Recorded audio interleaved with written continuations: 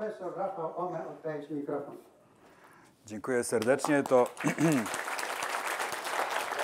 to, to, to prawdziwa przyjemność, e, jak zawsze by być, być tutaj, być zaproszony. To, co, to, co profesor Blickler robi dla warszawiaków, to naprawdę czapki z głów. e, Jak on dba o to, żeby, żeby mieszkańcy naszego miasta, a także goście, um, rozwijali swoją samoświadomość. Ta sama świadomość to jest jeden z kluczowych e, elementów, o których będę e, dzisiaj opowiadał. Wykład jest tak skonstruowany, że wszyscy znajdą w nim coś nowego. Ci, którzy widzą mój wykład pierwszy raz w życiu, no to dla Was wszystko będzie nowe.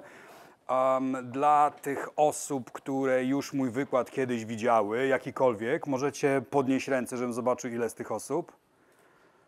No, to dla Was e, będzie, to dla Was, to dla was em, będzie em, troszeczkę nowości w pierwszej części i 100% nowości w drugiej części. Cała druga, em, druga część to będzie w ogóle światowa prapremiera. To zostało ukończone jakieś 10 minut temu. Także nikt tego, nikt tego nie widział jeszcze, ja też jeszcze nigdy tego e, nie mówiłem.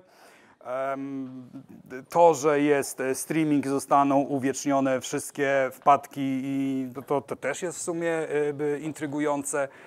E, Mam nadzieję, że e, Państwo będą się wszyscy dobrze bawić.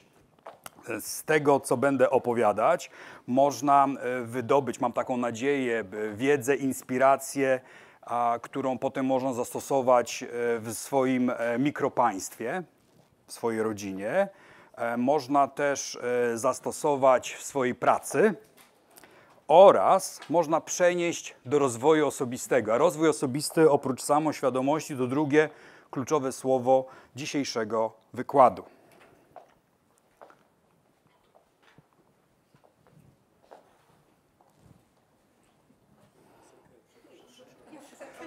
Tak, właśnie, no to to jest e, wiki. No, to to była pierwsza część wykładu.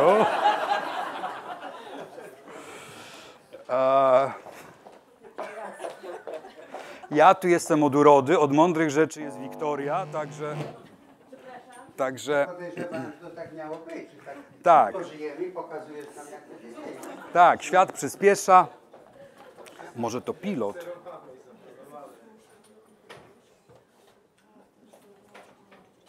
Komputer?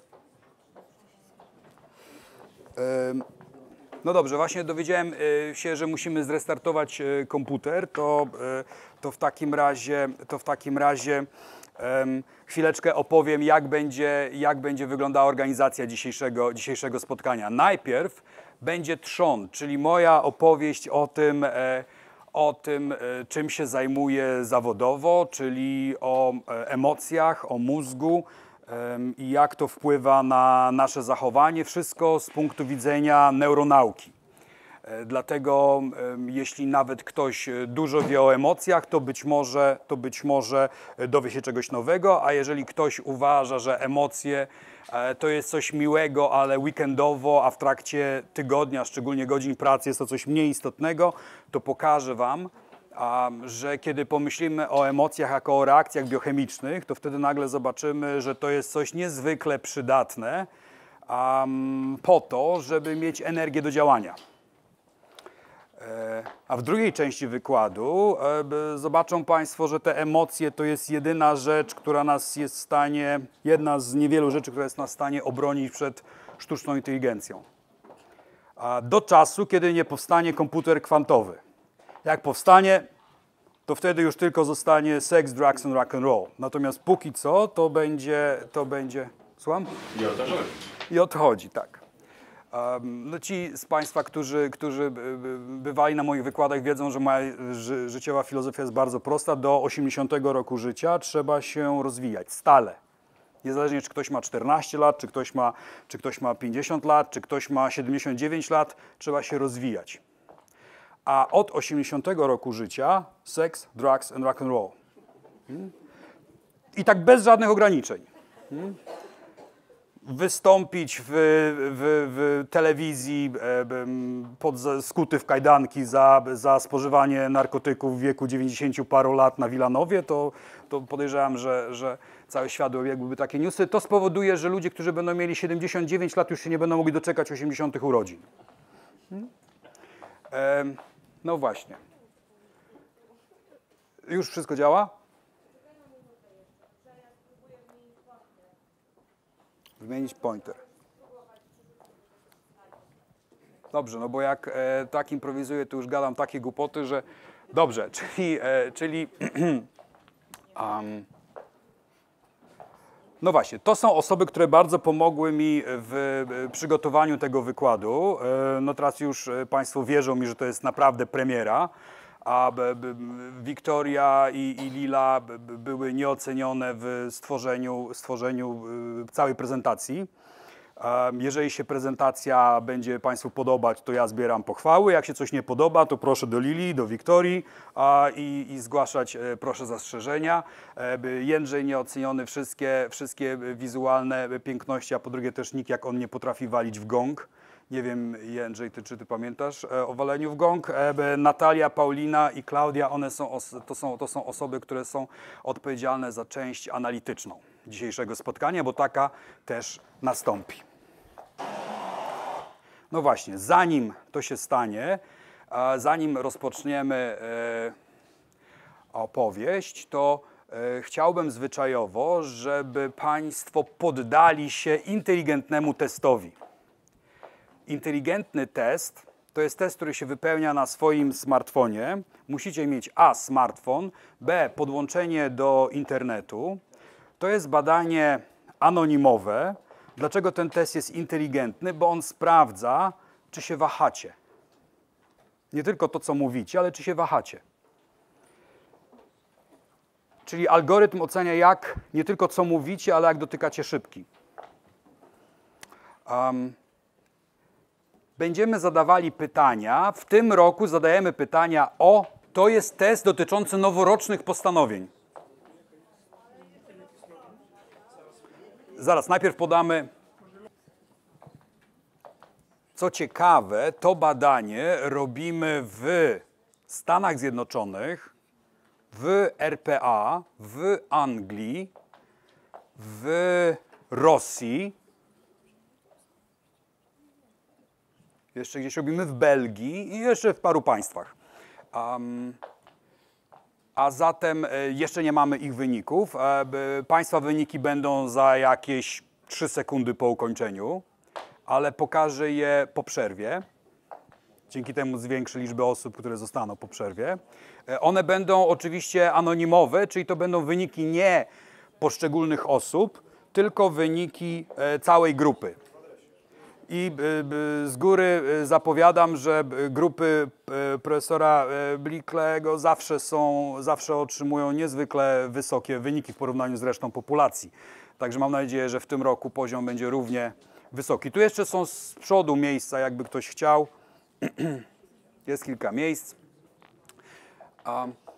Jak już złapiemy sieć, to potem wpisujemy to http bitdu 2020r i pojawia się test. Jeżeli ktoś będzie miał kłopot z wypełnieniem testu, e, to znaczy, że ma więcej niż 16 lat. Im większy kłopot, tym więcej niż 16 lat się ma. E, No i możecie zaczynać. E, Ten cały test nie powinien trwać dłużej niż ta piosenka.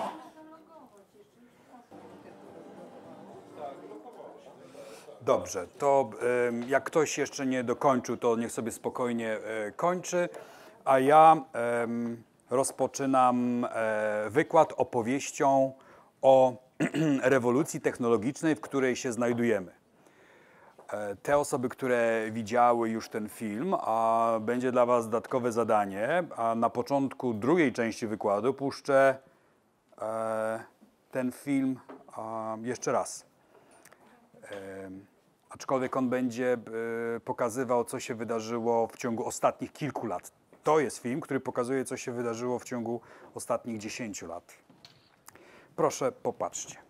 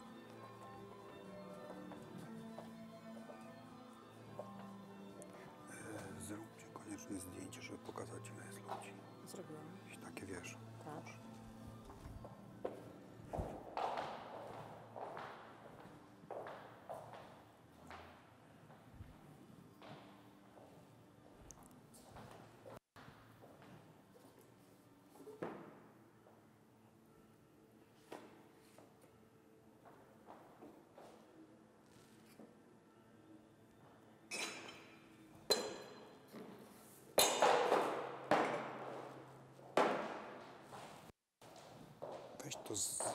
zrób tak, żeby to było ładnie.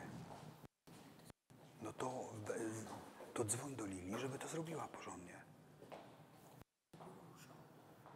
Jaki no ale to miała zrobić. Bierz Klaudii, bierz kogoś innego, a to kiedy będzie to?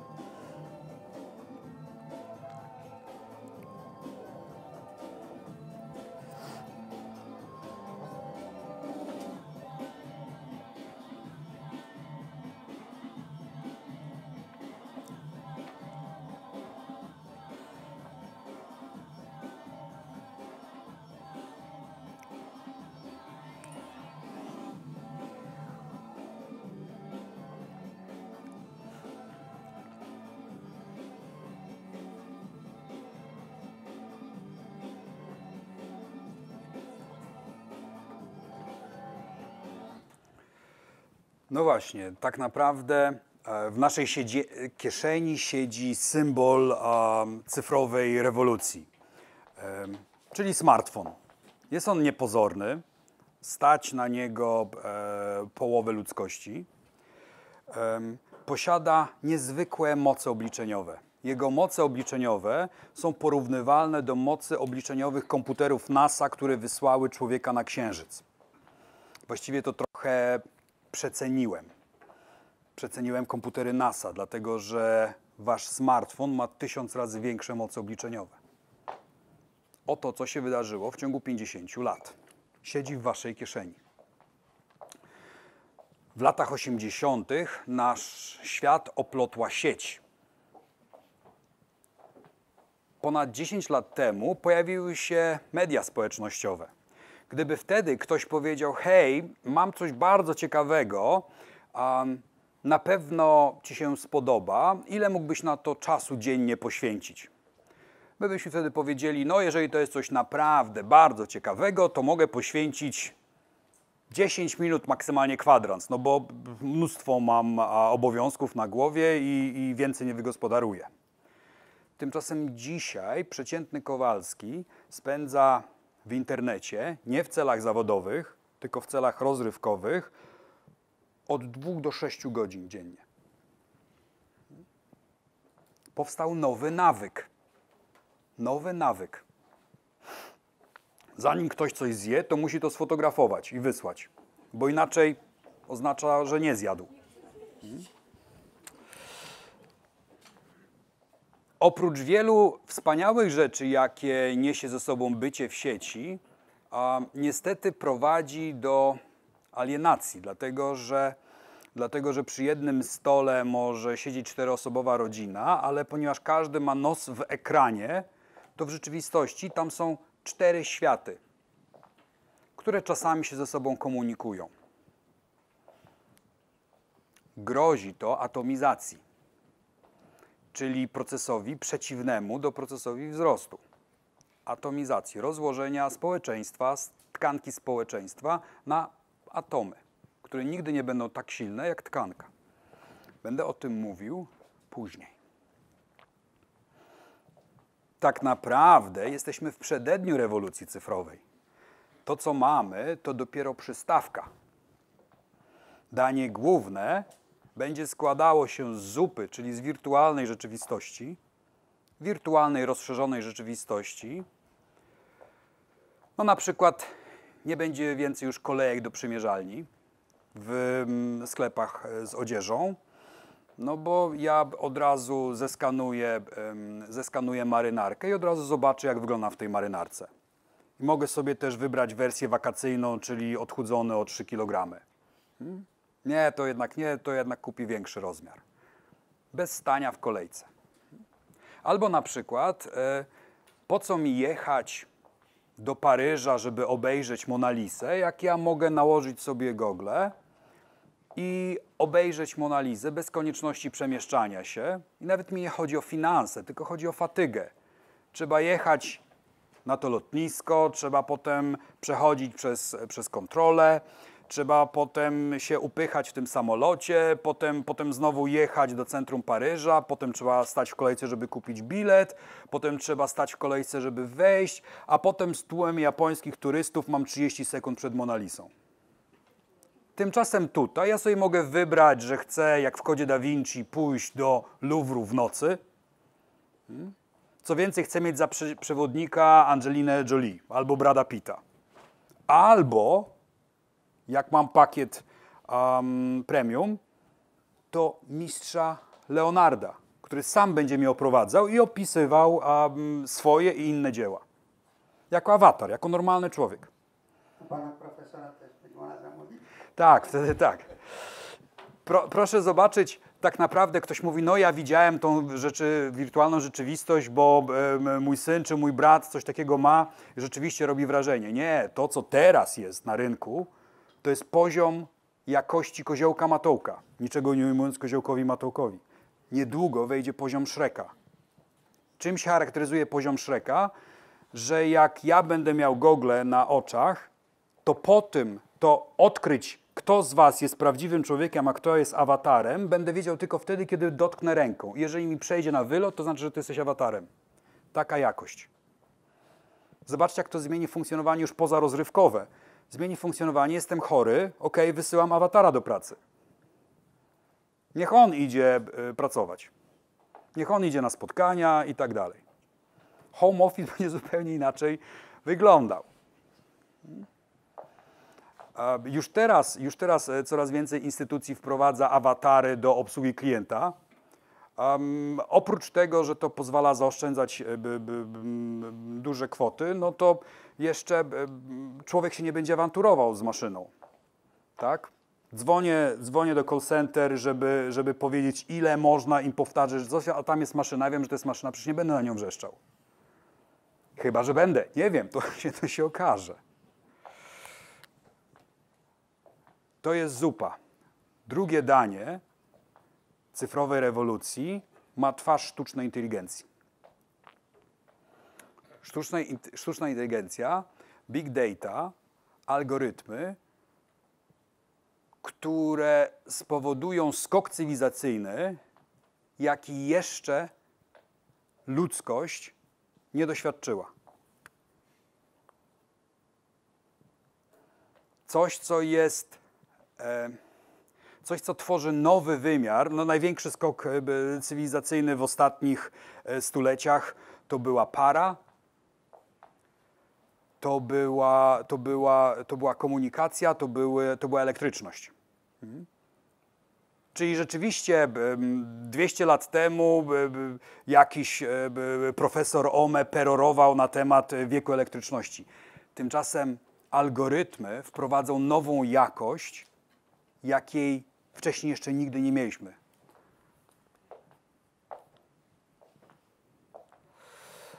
Tak jak um, część osób może być już podekscytowana, ojejku, to kiedy to będzie?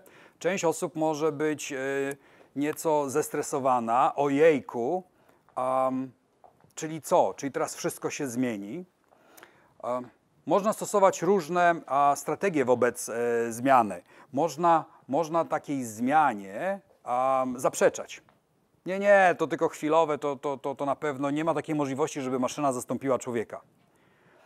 Albo nie ma takiej możliwości, żeby ludzie chcieli jeździć autonomicznymi samochodami bez kierownicy. Jak to? No przecież to słyszałem, było mnóstwo wypadków. Tak, bo to tylko głupia maszyna i ona nie wie, że jedzie na ciężarówkę i się zabije. E, można starać się z tym walczyć. Albo można użyć całej swojej inteligencji, żeby się dostosować. Jak pewnie Państwo się domyślają, e, ja jestem zdecydowanie za ową trzecią opcją. Użyć całej inteligencji, żeby się dostosować. Dlatego, że nie powstrzymamy wieku sztucznej inteligencji, tak jak nie powstrzymaliśmy wieku pary i elektryczności. Mimo iż, no wyobraźcie sobie, te paręset lat temu kiedy, kiedy krytycy mówili, prąd zabija, dotkniesz i zginiesz. No przecież to święta racja. Hmm? Tak jak i dwa miliony lat temu profesorowie OME w, w, w jaskini mówili, ogień zabija, nie ruszaj tego ognia. Należy użyć całej inteligencji, żeby się dostosować. Proszę, po jednej stronie marki, które zaprzeczały rzeczywistości zmieniającej się, a po drugiej stronie zma- marki, które się dostosowały. Zobaczcie, wszystkie marki to są gigantyczne marki, wszystkie marki to są kultowe marki. No, większość z nas była wychowana na, na Kodaku, żyła w szacunku bądź podziwie do Saba, a, a Nokia, pamiętam kiedy, kiedy robiłem jedne ze swoich pierwszych badań marketingowych, to Nokia miała 80% um, rozpoznania marki e, top of mind. Czyli, że w pierwszej kolejności ludzie, jak, jak się pytaliśmy, jakie znacie marki, to ludzie mówili Nokia. Potem było długo, długo nic, a potem była Motorola chyba 20%. A teraz gdzie jest Nokia? Hmm? Nie dlatego, że oni nie chcieli się zmieniać. Oni przecież ciężko pracowali. Przecież to, przecież to jest e, bardzo, bardzo pracowity e, fiński naród, tak? tylko poszli w złą stronę. Bo poszli w kierunku rozwijania wygodnej klawiatury. Pamiętają Państwo Nokia Communicator? Tak, Psz, tak się rozsuwało i było jak na fortepianie pisanie. Tymczasem pewien, pewien łysiejący pan z Palo Alto powiedział, a może w ogóle niepotrzebna jest klawiatura, tylko, tylko, tylko, tylko szybka. Hmm? I świat się zmienił. Z kolei ten sam pan zaprzeczał nowoczesnej medycynie. Jak mu zdiagnozowali raka, to się zaczął leczyć ziółkami.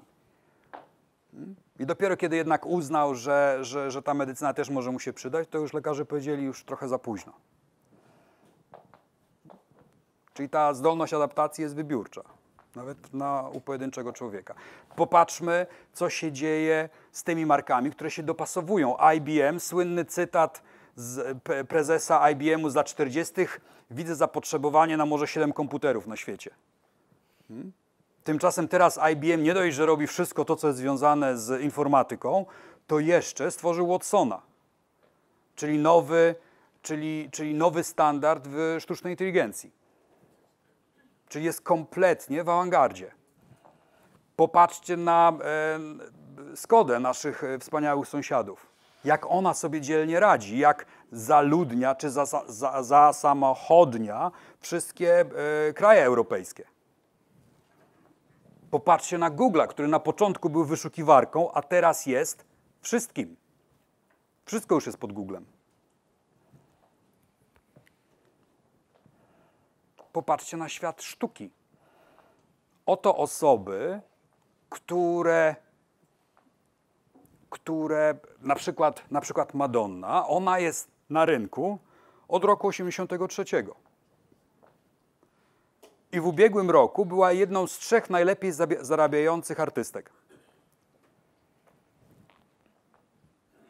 A David Bowie nie dość, że się cały czas utrzymywał na topie, to jeszcze dyktował warunki, tworzył trendy. Po co szukać daleko? Popatrzmy na naszego nieodżałowanego e, Zbigniewa Wodeckiego. Jego utwory wzruszają dzisiaj zarówno babci, jak i wnuczki dostosowywali się. Jedynym zespołem, który się do niczego nie dostosowuje, gra to samo co w latach 70. i ma gigantyczne sukcesy, jest ACDC. Tak? U nich czy płyta z 76, czy z 2025 wygląda identycznie. I chłopaki też identycznie wyglądają. No tak. A to jest wyjątek, który potwierdza regułę. Dostosowuj się. Um, nasze intelektualne e, rozmowy będą przerywane e, wątkiem e, info, wątkiem z rodu infotainment, to znaczy em, będziemy sobie czytali informacje, które mają pobudzić aktywność i zmienić napięcie skórno-galwaniczne. To znaczy mają przebiec e, ciarki emocji em, z powodu niezwykłości informacji, które zaraz Państwo usłyszą. Najpierw e, będzie e, czytała takie informacje Lila, a potem w kolejnych odsłonach będą te informacje czytały wybrane osoby z sali, dostaną za swój wysiłek nagrodę. Lila, a ty nie dostaniesz nagrody, za to jesteś pierwsza, żeby przeczytać.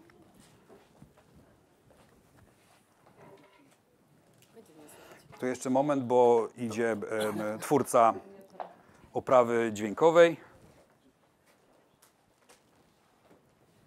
Nie, nie, proszę bardzo, ja ci będę trzymać, tak, tak.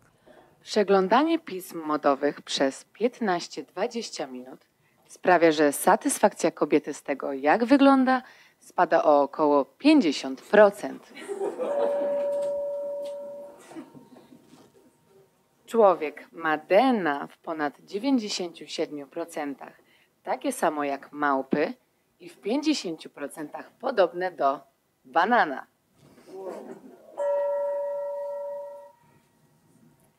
Cytryna będzie unosić się na wodzie, ale limonka w niej zatonie. No, to można sprawdzić dzisiaj czy w weekend. To ostatnio u mnie nie zawsze się potwierdza, ale to może, może to zależy od tego, w czym pływa ta, lemon, ta lemonka. Dla mnie a, rozwój technologiczny wiąże się przede wszystkim z owym magicznym słowem, jakim jest neuroobrazowanie. Neuroobrazowanie, czyli podglądanie pracy mózgu w czasie rzeczywistym narodziła się neuronauka, młodsza siostrzyczka neurologii. Neurologia ma ponad 100 lat i potrafiła różne rzeczy, ale nie potrafiła powiedzieć, co się dzieje w naszej głowie wtedy, kiedy patrzymy, jak Robert Lewandowski ustawia jedenastkę. Albo wtedy, kiedy z irytacją czekamy na autobus, który się spóźnia. Albo wtedy, kiedy jesteśmy niemiłosiernie znudzeni przerwą reklamową a neuronauka potrafi to wszystko pokazywać w czasie rzeczywistym. Na pewno widzie, widzieli Państwo takie rozświetlone obrazy. To oczywiście nie oznacza, że mózg zapala się na różne kolory. To jest neuroobrazowanie, czyli symboliczne przedstawianie, która część mózgu jest bardziej aktywna. Im bardziej czerwono, tym bardziej aktywnie. Im bardziej niebiesko, tym mniej aktywnie. Jak na to nałożymy naszą bardzo dobrą geografię mózgu, czyli rozpoznanie, które części mózgu za co odpowiadają, no to nagle, patrząc na te rozświetlenia, możemy zobaczyć, jakie typy procesów psychologicznych zachodzą w naszej głowie. Bo okazuje się, że owe procesy psychologiczne korelują z aktywnością biochemiczną i elektryczną mózgu. No może pokażę Państwu coś, co pewnie jeszcze nie wszyscy widzieli. Oto nasz mózg, który uczy się nowego słówka. Oto powstaje engram, czyli jednostka pamięciowa. To jest prąd elektryczny, który sobie pływa po komórkach. I teraz jak my utrzymujemy, i tu buduje się engram, jeżeli my jesteśmy w stanie utrzymać pamięć danego słówka przez 12 minut, to elektryczność zamienia się na chemię, robią się zmiany chemiczne. I wtedy pamięć krótkotrwała przed, prze, przechodzi w pamięć długotrwałą. I my znamy to słówko już na, na zawsze. Czyli proszę zobaczyć, że taki proces jak uczenie się słówek, czy jakikolwiek inny proces myślowy, pożera mnóstwo prądu. Prądu, czyli energii.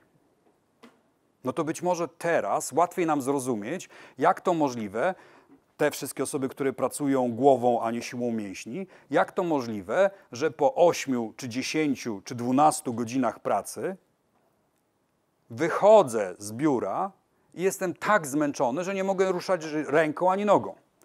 I taki robotnik, który przeładowywuje węgiel, mówi: Co ty mi tutaj narzekasz, że masz ciężką pracę? Przecież ty siedzisz na czterech literach przez te 8 godzin tylko w klawisze stukasz.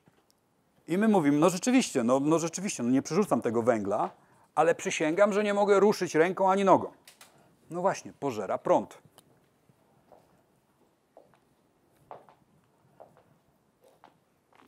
Pokażę Państwu a, przykład neuroobrazowania, który robimy a, w firmie e, Neuron pod wodzą e, Natalii. Nakłada się takie mózgoczepki na głowę i one zbierają aktywność elektryczną kory mózgowej. Niczego nie wsadzają do środka głowy, tylko wyciągają to, co ta głowa produkuje. Uwaga, to nie potrafi czytać myśli. Jeżeli kiedykolwiek będziecie czytali o tym, że zakładając jakieś rzeczy można przeczytać, co się dzieje w głowie, to jest nieprawda. Za to to potrafi powiedzieć, czy nam się podoba to, co czytamy, bądź co widzimy. To już jest prawda. Jest jeszcze druga technologia, którą te osoby, które miały szczęście, że im się uruchomiły programy, programiki, doświadczyły na własnej skórze, czyli zbieranie informacji, które są w głowie w postaci skryptów. I im więcej jest owych engramów, które widzieliście, tym szybciej człowiek podejmuje decyzję, żeby powiedzieć tak, będę bardziej dbać o zdrowie. Natomiast jak jest mniej tych skryptów i mniej engramów, to człowiekowi więcej czasu zajmie powiedzenie tak, będę dbał o zdrowie. A jak będzie się wahał, to znaczy, że jest mniejsza szansa, że rzeczywiście będzie dbał o zdrowie, będzie to bardziej pobożne życzenie. Jak to wyjdzie? No, dowiemy się po przerwie. Najpierw pokażę e, to, co potrafi mózgoczepek. Najpierw nieśmiertelny George Clooney. Ci, którzy go widzą po raz dwumilionowy, serdecznie przepraszam, ale dla Was będę miał dwa kolejne przykłady. Oto reklama ze znanym e, polskim aktorem Jerzym Klunowskim. Proszę.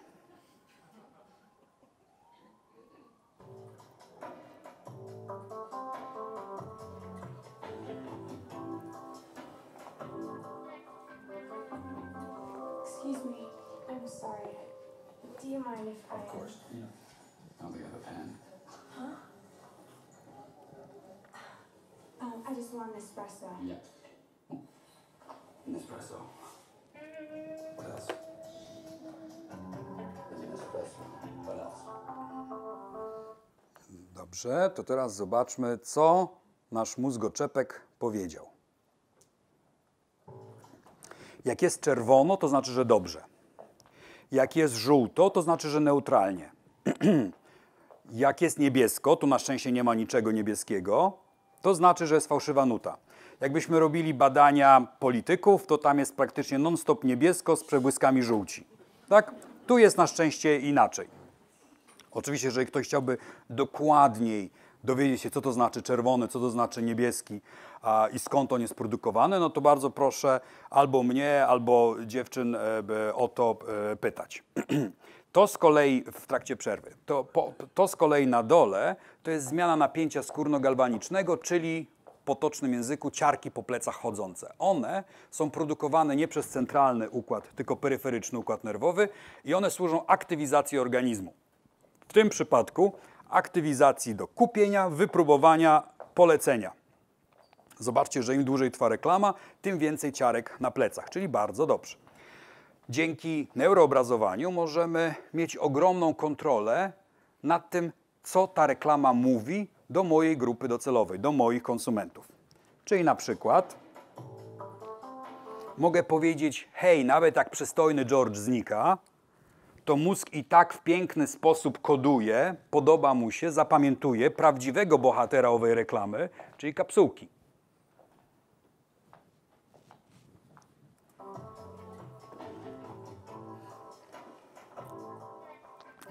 I widzę, że owa kropelka się ogromnie ludziom podoba. Wbrew temu, co mówiła agencja reklamowa. Bo agencja reklamowa, która sama stworzyła tę kropelkę, odradzała klientowi użycie kropelki w, ostatecznym, w ostatecznej wersji reklamy. Dlaczego? Bo tą kropelkę wszyscy używają. I ona jest taka, taka, taka klisze, taka, taka już, e, no, wszyscy ją znają, ograna. No właśnie. Tymczasem to badanie pokazuje, że ludzkość kocha kropelkę. Dlaczego? Bo ludzkość ma inne mózgi niż agencja reklamowa. Bo agencja reklamowa ma mózgi wytrenowane. To jest tak, jakbyśmy wzięli mózg Krzysztofa Hołowczyca. On ma inny mózg. On inaczej widzi prędkość. To, co dla nas jest 150 km na godzinę, dla niego to, co, to, co, to, co, to, co dla nas jest 150 km, dla niego to jest 30 km. Tak? To jak ktoś nie wierzy, to niech sobie e, zamówi jazdę z zawodowcem. em, samochodem, to po prostu um, um, umrzecie tak jak ja w ciągu pierwszych 10 sekund. No bo to niemożliwe. Tak? On ma inną rozdzielczość czasową. On ma HD, a my jesteśmy lampówkami. Hmm? Ma wyćwiczone to wszystko. No a tutaj w tym przypadku a, przecenienie ludzkości przez agencję. Ta kropelka nie dość, że się podobała tutaj, to stała się takim przebojem, że stała się kluczowym a, wizualem całej kampanii. Kampania trwa już ponad 10 lat i kropelka jest kluczowym elementem. Nie chcę nikogo urazić z fanów George'a, ale kropelka przeżyje George'a.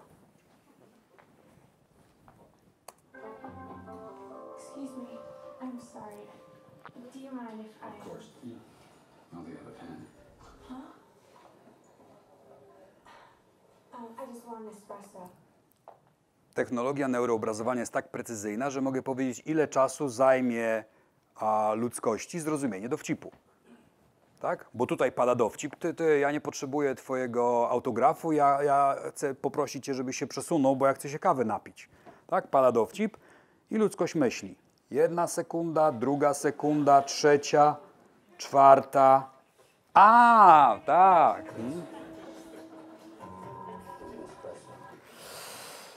Kiedy Państwo patrzyli się na ekran, ja patrzyłem na Wasze twarze i widziałem u niektórych osób powątpiewanie w oczach. Nie, no ja nie sądzę, żeby mój mózg tak zadziałał. Ja wiem, kto tak myśli. Ja mogę palcami wskazać te osoby. To mężczyźni. Bo to, co pokazywałem przed chwilą, to była połowa ludzkości, czyli kobiety. Zaraz pokażę jeszcze raz. Na górze będą kobiety, a na dole mężczyźni. Gdyby fale mózgowe potrafiły mówić, to by powiedziały zazdrość. Wchodzi przystojniak i nam dziewczyny podrywa. Hmm? Jakbyśmy chcieli rozebrać tą reklamę na logikę, no to, to George Clooney tam zostaje ukarany, on dostaje po łapach. Hmm? To po co zazdrościcie George'owi, panowie? Ale mózg nie służy logicznemu myśleniu. Logiczne myślenie to stosunkowo świeża akwizycja. My logicznie myślimy, tak jak dzisiaj, od 40 tysięcy lat.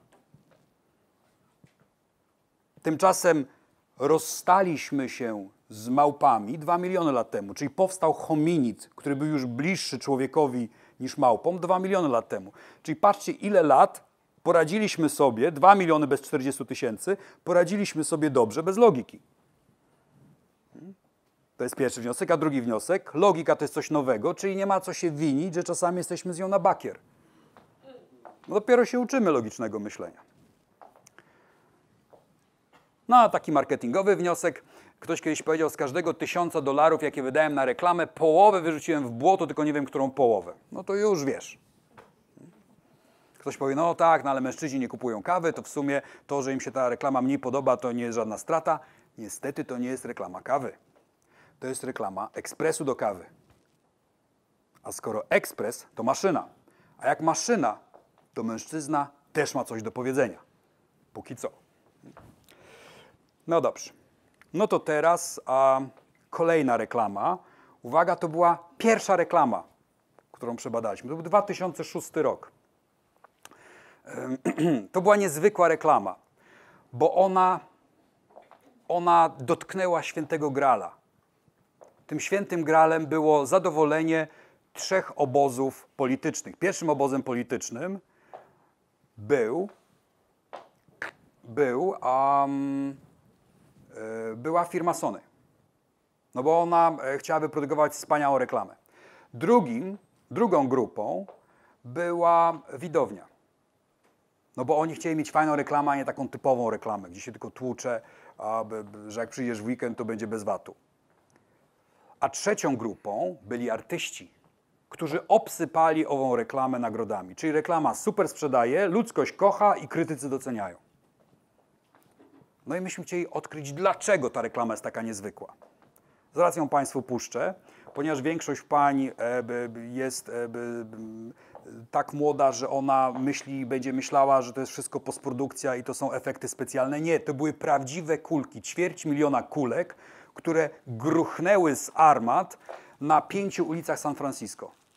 Oni przez cztery dni to kręcili. Prawdziwe kauczukowe kuleczki, które sobie skaczą i śpiewają. Proszę.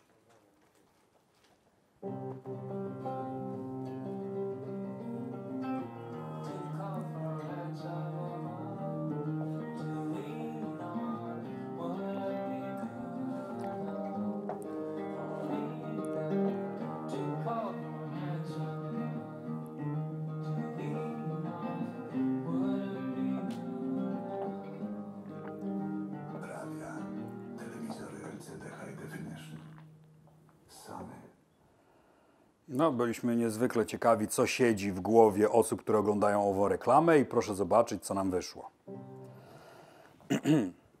Reklama wcale nie musi być od początku do końca czerwona. No tu widzicie, to jest najlepsza możliwa reklama. Ona nie musi być sprawdzone przez, przez kupujących, sprawdzone przez artystów, sprawdzone przez sprzedaż. Ale jest czerwone tam, gdzie są kluczowe elementy. Czyli rozpoczęcie reklamy, po to, żeby przykuć wzrok, żeby nikomu się nie zachciało pójść do kuchni. Hmm?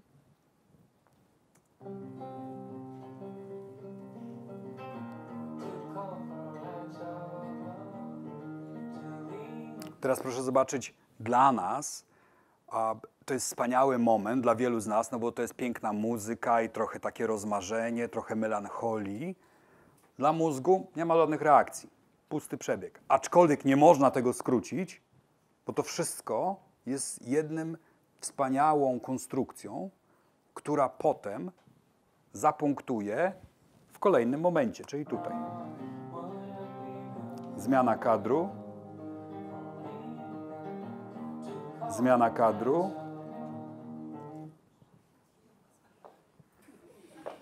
I żaba wyskoczyła. I nie wiadomo dlaczego ludzkość się bardzo podekscytowała tą żabą. Proszę zobaczyć, że wszystko potem, co się pojawiło po żabie, to ludzkości się spodobało. Czyli benefit, hej, my, Sony, mamy najlepsze, koloro, najlepsze kolorowe telewizory, znaczy nasze kolory są najlepsze.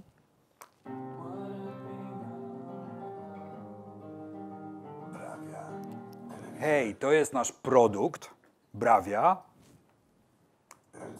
Definition. To jest nasza marka i jeszcze tam było Hypnotic Circle, czyli coś, co się obraca. Mm. I to spowodowało niesamowitą e, reakcję. Ktoś może powiedzieć, no ale skąd wiadomo, że ta żaba wywołała pozytywną reakcję? Może ta pozytywna reakcja byłaby by także wtedy, kiedy by nie było tego wyskoku żaby. No więc przeprowadziliśmy badanie naukowe, usunęliśmy żabę z, z, w montażu. Ta żaba trwała mniej niż półtorej sekundy. Ona niczego nie wnosiła treściowo, czyli nie było żadnego e, kłopotu. Tutaj jest bardziej tak rozrysowane, jak są te gołąbki, to to jest istotność statystyczna. To jest z żabą, a to jest bez żaby. I zamiast czterech istotności jest tylko jedna, czyli dużo słabszy wynik. Ta żaba była zamierzona, czy tak wyszło? I teraz to, co jest najciekawsze, ta żaba była przez przypadek. Oni mieli 24 kamery i żaba weszła w kadr, że tak powiem. Tyle, że potem instynktownie dyrektor kreatywny powiedział: Zostawcie żabę. Hmm? Ale zabrakło mu instynktu wtedy, kiedy Sony powiedziało: Świetnie, bardzo nam się podoba 30-sekundowa wersja, zróbcie teraz jeszcze wersję 20-sekundową i 15-sekundową, bo wyciął żabę. Dlaczego? No bo nie przeczytał naszego artykułu naukowego. Szkoda, że nie znalazł się w gronie 17 osób, z czego 15 to moich studentów, którzy czytali ten artykuł, um, bo wtedy by dowiedział się, że żaba jest kluczem. Jest wyzwalaczem, co więcej, a można to w piękny sposób przenieść do samego sklepu, żeby sobie zobaczyć taką, taką żabę.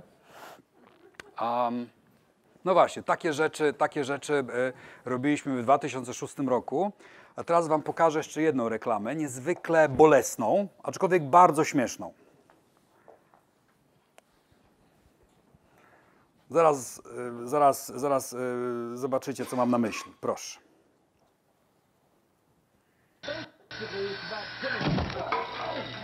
I'm good. Be honest here. Ah, okay. I'm good. I'm good. I'm good. Ready? Go. Men can take anything I'm good. except the taste of Diet Cola. Until now. Pepsi Max, the first Diet Cola for men. No, jest to e, niezwykle e, pomysłowa reklama, bardzo wyrazista. Ludzie się śmieją, uwielbiają. Tą reklamę wszyscy sobie puszczali. Bo w dawnych czasach jeszcze jak była jakaś fajna reklama, chociaż nie, teraz też, tylko się przesyła linki. Tak? Wtedy była reklama sama przesyłana i, i, i w ogóle Pepsi było e, strasznie zachwycone tą reklamą. E, Myśmy ją e, przebadali i wyszło nam, i wyszło nam coś takiego same wspaniałości, tylko że uwaga, nie badamy płatów czołowych, to nie jest mózgoczepek, który mierzy procesy decyzyjne, tylko badamy facial expression, czyli e, ekspresje mimiczne. Badamy za pomocą elektrod, które przylepialiśmy do twarzy, tak? I to są elektrody na oczy i na usta. No i widać, że człowiek jest zachwycony tą reklamą. Śmieje się od początku do końca, i oczami, i ustami.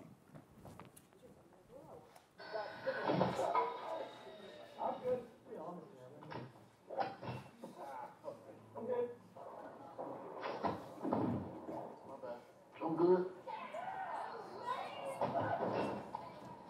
I'm good. Men can take anything except the taste of Diet Cola. Until now. Pepsi Max, the first Diet Cola. No właśnie, wydawać by się mogło, że to jest najlepsza reklama na świecie, ale teraz zobaczcie, co jest, kiedy badamy nie to, czy nam reklama nam się podoba, tylko czy reklama robi coś w naszym mózgu, czy nas zachęca, czy, czy, czy, czy rozmawia z procesami decyzyjnymi w naszym mózgu, czyli zbadajmy korę, płaty czołowe, bo tam się podejmuje decyzje. Hmm? Oto wyniki kory. Nic albo negatywnie. To jest, uwaga, zła reklama. To jest reklama, która was zabawi, ale nawet nie zapamiętacie, że to jest reklama Pepsi, bo tutaj, kiedy pokazuje się Pepsi cały branding, to mózg jest wyłączony. A wszędzie tam, gdzie są ciosy, to go boli. Pierwszy cios, drugi.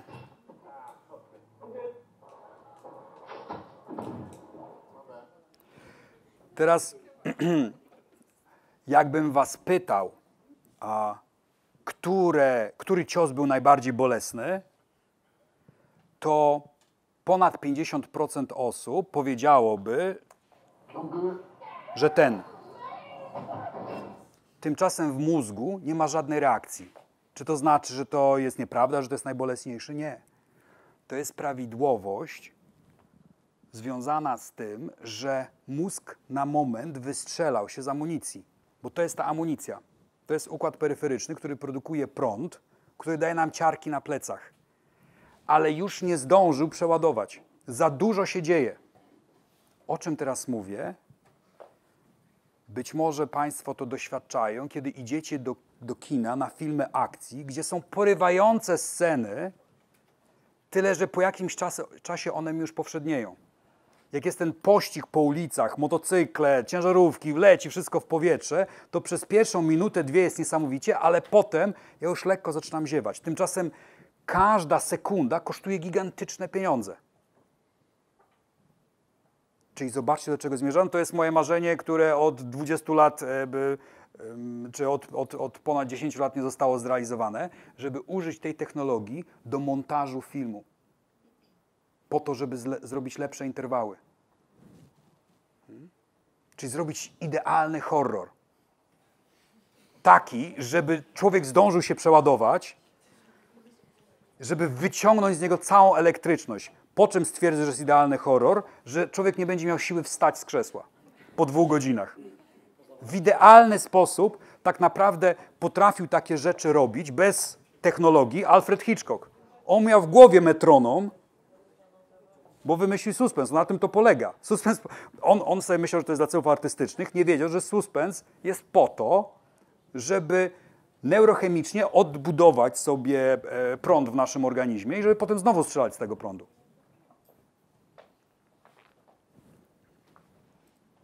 No dobrze. No mam nadzieję, że te osoby, które widziały 100 tysięcy razy George'a Clooney'a, teraz są zadowolone, że, że jest coś nowego. A teraz pokażę tą drugą technologię, czyli technologię związaną z dotykaniem, e, dotykaniem ekranu. Um, to jest coś, co jeden z, z bardzo młodych ludzi, e, kolegów mojego syna, e, zrobił w swojej klasie. Zadał różne pytania. Tak jak ja tutaj dla Was, to on dla swoich kolegów i koleżanek. To było, to było e, liceum Batorego, czyli bardzo dobre warszawskie liceum. I oto przykład niektórych e, pytań. Tak naprawdę ta technologia jest e, bardzo ciekawa, dlatego że ona umożliwia mierzenie rzeczy, które są niemierzalne. Czyli, a, czyli na przykład pewnego rodzaju postaw, e, które są mocno nacechowane emocjonalnością. My nie bardzo chcemy przyznawać się na przykład, że mamy jakieś kłopoty z e, rasizmem. Mm? Albo że, że uważamy, że, że kobiety jednak lepiej, żeby były tam, gdzie były przez, e, przez dwa, tak, tak, tak. Albo na przykład, że uważamy, że, że jak ktoś, no, te, te wszystkie rzeczy, które są trudno mierzalne. Po co ja bym chciał je zmierzyć? Bo jak będę w stanie je zmierzyć, to będę w stanie je ulepszyć. Mogę coś poprawić. Jak nie potrafię mierzyć, to nie poprawię. Na tym polega cała nauka. Dzięki temu, że mogę mierzyć, mogę poprawiać. Mogę poprawiać swoją dyscyplinę. Zobaczcie, jak nauki ścisłe, które są bardzo mierzalne, jak szybko um, wzrastają w siłę, a jak filozofia, która jest niemierzalna, drepcze sobie w miejscu. Oczywiście ona inspiruje wszystkich, ale tam nie ma jakiegoś gigantycznego e, akumulacji wiedzy. Nie, co filozof, to jego własna szkoła. No dobrze. No to teraz jakie są pytania, które, um, które e, e, dzieciaki, e, to nawet nie była klasa maturalna, tylko przedmaturalna, e, jakie, jakie są ich opinie? Najpierw tradycyjny pomiar, czyli bez naszego e, algorytmu, który mierzy pewność. E, Jestem wartościową osobą. 84% osób mówi tak, 16% mówi nie. Mam mocne strony. 87% tak, 13% nie. Mężczyźni są lepszymi menadżerami niż kobiety. Tylko 12% osób tak mówi. 88% mówi nie. Rozpoznaje nieprawdziwe, potrafi rozpoznawać e, nieprawdziwe informacje w sieci. To chodzi o mowę nienawiści. A 92% mówi, że potrafi. No to teraz zobaczmy, jak jest w rzeczywistości. Za chwilę to będzie pokolorowane. Jeżeli coś będzie miało kolor zielony, to znaczy, że mówią i wierzą. Mówią bez wahania. Jeżeli coś będzie żółte, to znaczy mówią, ale po namyśle. Czyli trochę bardziej tak aspirują do tego. A czerwone mówią i wierzą, że nie wierzą. No dobrze, no to popatrzmy. Aha, no i e, gdybyśmy mieli tylko ten pomiar, no a, a, a tak naprawdę tylko my dysponujemy, znaczy to jest, tak, no, to jest coś tak e, nowego, że jeszcze mało osób e, o tym słyszało, czyli dla, dla, dla większości szkół e, byłaby prosta informacja, och, moi uczniowie to sami geniusze i w ogóle z jednej strony się cieszę, z drugiej strony no nie mam z nimi co robić wychowawczego, bo już są idealnie wychowani. Hmm? Natomiast oto, jak wyglądają wyniki po nałożeniu indeksu pewności. Mm, Jestem wartościową osobą i naprawdę w to wierzę. Świetnie, bardzo mi się to podoba. Ale wiesz co, ja nie wiem, czy ty wiesz, dlaczego ty jesteś wartościową osobą. To może e, siądziemy i popracujemy nad tym. Tak na marginesie, to będzie coś, co będę e, Państwu e, proponował. Podejrzewam, że większość z Was e, uważa, że, że, że, że, że jest wartościową osobą i że, i że ma mocne strony, ale czy Wy potraficie e, powiedzieć, jakie macie mocne strony? I co bardziej jeszcze ciekawe, czy potraficie powiedzieć, jakie macie słabe strony? Bo to te słabe trzeba w pierwszej kolejności zabezpieczyć. Hmm? Mężczyźni są lepszymi menadżerami niż kobiety. 88% powiedziało i naprawdę tak myśli. Uff. To pełen szacun dla Czackiego i dla mnie duma, bo jak to pokazuje za granicą, to mówię, patrzcie, jakich mamy, e, jaką mamy porządną młodzież. Nie wiem, co by było, gdybym starszych badał, ale młodzież mamy porządną hmm? na tym wymiarze.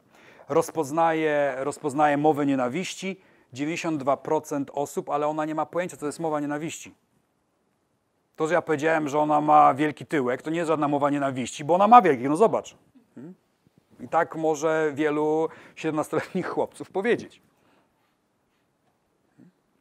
Czyli tutaj jest dla nauczyciela natychmiast informacja o w tym, to, to, to my się tym zajmiemy. Kolejne godziny wychowawcze to będą o mowie nienawiści. Ja wiem, że wy wszystko wiecie, 92% mówi, że wie, co to jest mowa nienawiści, ale ja się tak jeszcze upewnię, czy o tym samym rozmawiamy. A to jest coś e, mm, naprawdę z ostatniej chwili, to z kolei druga siedemnastolatka, no bo my właśnie dajemy to dzieciakom, żeby oni robili różne na swoich grupach e, testy, żeby pokazać, jakie to jest wszystko fajne, jakie to jest wszystko wartościowe. To jest porównanie nastolatków z Polski i z Anglii. Bogata młodzież może przyjaźnić się z biedną. 100% Anglo- Anglików mówi tak, 97% Polaków mówi tak, ale Polacy w to wierzą a Anglicy, tutaj jest taki wynik cukier w cukrze, tak? HIS-y, bo em, nie wchodząc za bardzo w matematykę, jak jest, jak jest 97 na zielono, to wcale nie znaczy, że jest 97% osób, które mają zielony wynik, czyli ten wysoka pewność. Nie. To jest wynik skomponowany z tych, którzy są bardzo pewni, z, tych, z tym, którzy są umiarkowanie pewni i z tym, którzy są wcale niepewni, czyli są z trzech kolorów zielony, żółty i czerwony. Ale jak to uśrednimy, bo to jest uśrednienie, to wychodzi nam powyżej naj, najwyższego progu, czyli się pokolorowało na zielono. Ale ile mamy tak naprawdę zielonych? Mamy ich 79%. Tak? A w Anglii 51%. I drugi, ten sam wynik, biedna młodzież może przyjaźnić się z bogatą, 64 kontra 46. Tak, czyli ten egalitaryzm w Polsce jest, e, i to na poziomie nastolatków, jest dużo mocniej zakorzeniony. To brawo. Pomógłbyś osobie bezdomnej? 59% mówi, żeby pomogła, a jest o tym przekonana 19%, w Anglii to samo, 20%. Hmm? Czyli tutaj nie ma różnicy. Dziewczyna wyzywająco ubrana prosi o kłopoty. W Polsce uważa 3%, w Anglii 2%. Także to też jest taki fajny wynik. Mężczyźni są bardziej inteligentni od kobiet. W Polsce uważa 12%, w Anglii 2%, no ale to są bardzo niskie na szczęście wyniki. 67% Polaków, 54% Anglików uważa, że nie. Czyli tu są fajne wyniki. A teraz popatrzcie, czym się różnią e, z kolei, co jest wyżej w Anglii. Seks przed ślubem jest w porządku. 85% Polaków, w rzeczywistości 42%. W Anglii 78, e, 95, w rzeczywistości 78%. Traktowałbyś osobę z niebieskimi włosami poważnie. To też proszę zobaczyć, to tylko nastolatka mogą takie pytanie wymyśleć, ale zobaczcie, jakie ciekawe wyniki wyszły. W Polsce 19% by traktowało poważnie, a w Anglii 37%. Um, regularnie uprawiasz sport dla zdrowia. 61-61, ale w rzeczywistości 33-46. Zazdrościsz innym, jak widzisz, co robią na Instagramie. Ja bym też nie wymyślił takiego pytania, ale. no. Ale w Anglii bardziej zazdroszczą. No dobrze. No i na koniec. y, y, Ale tam jeszcze ja mam pytanie do tego drugiego, e, dwóch tych dwóch pierwszych pytań samej górze. Te, e, że młody, że, że ten ubogi się przyjaźni z bogatym, bogaty z ubogim. Wydawałoby się, że to jest taka relacja symetryczna, powinno być tyle samo. Właśnie dlaczego nie jest, dlaczego ona nie jest symetryczna? To jest to, co, mu, to, co myślą bogaci, tak? A tu to, co myślą biedni? Nie, nie, to, to jest wszystko, to jest, to jest wszystko, No właśnie. Tu i tu to była bogata młodzież, bo to jest w prywatnej No szkole. właśnie, znaczy skąd ta różnica? Ale e, gdzie? Między... Między, między poz- pierwszym i drugim, no. Jak się bogata A o to ci chodzi, 79 i 64, tak? No tak. Ale tu sami bogaci odpowiadali. Ale ty biedny, nie decyduj za mnie, ja zdecyduję, czy chcemy. Nie wychylaj się pierwszy. Ale... Tak, tak, tak. Albo to byli ci, e, którzy są w bogatych szkołach, ale mają stypendia.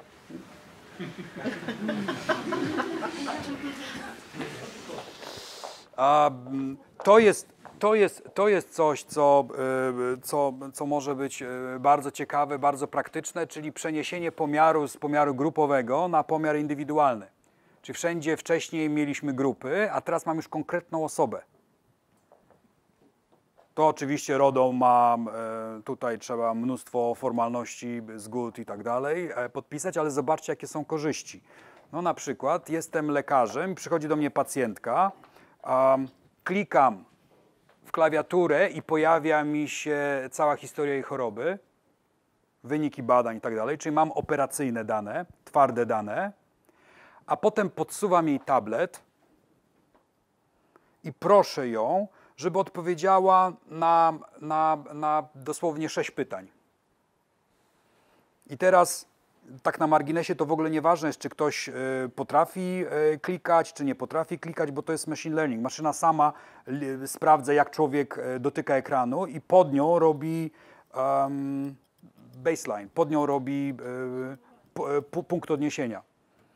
Czyli tu, tutaj dla, dla osoby, która ma 80 lat i osoby, która ma 8 lat, będą kompletnie inne baseliny.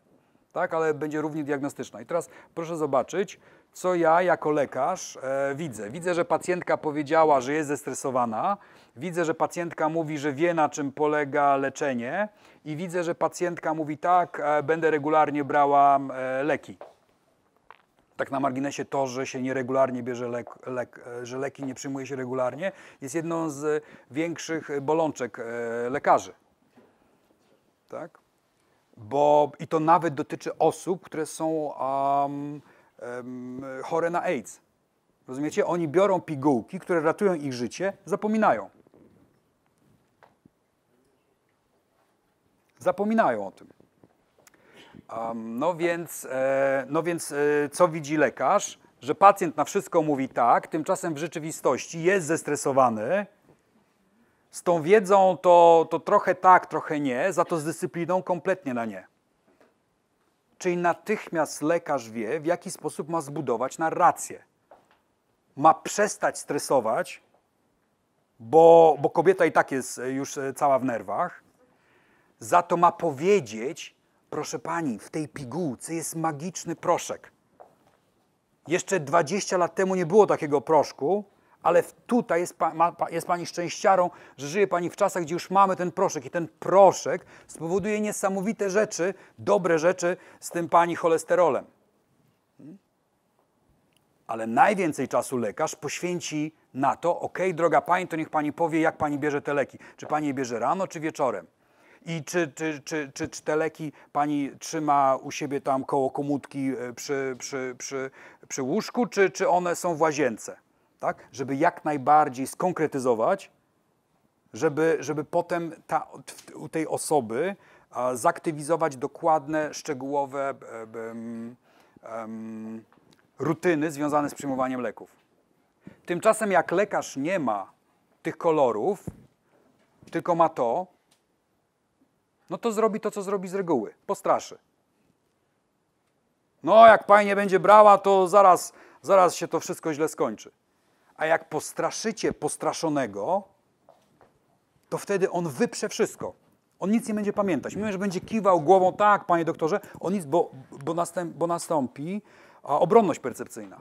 Mózg nie będzie już, czyli jak ktoś się wydziera na drugą osobę, która jest przerażona, to, nic, to ta osoba nic nie zapamięta z, z tych mądrości, które e, jej przekazujecie. Można się wydzierać na drugą osobę, jak ona się na was wydziera. Wtedy tak. Ale jak tamta jest przerażona, to się nie ma co wydzierać. Bo ona nic nie zapamięta. No dobrze. To teraz e, pierwszy show z udziałem e, widowni. Jeszcze Lila przypomni, jak się czyta, a potem wybierze widownię. Proszę. IQ Marilyn Monroe było wyższe 168 niż IQ Alberta Einsteina 160. Super. No to teraz bierzemy kogoś z publiczności.